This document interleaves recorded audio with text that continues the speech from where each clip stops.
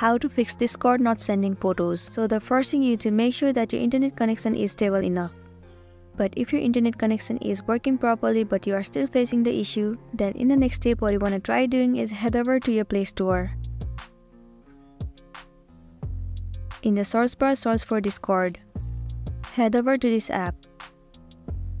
So right here instead of open, if it shows the option of update, then your application is not up to date and it might be also one of the reasons that you are facing the issue on Discord.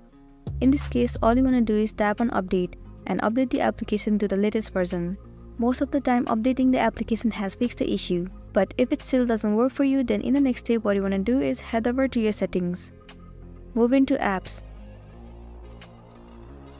Head over to Discord. Tap on storage and cache. Right here you to clear the cache and the storage of this application. So tap on clear cache and then tap on clear storage. Click on OK. While clearing the cache and storage will remove all the unwanted bugs from the application and it will make your application run smoothly. It might also fix the issue that you have been facing on Discord and you'll be good to go. So that's it and these are some of the ways to fix Discord not sending photos.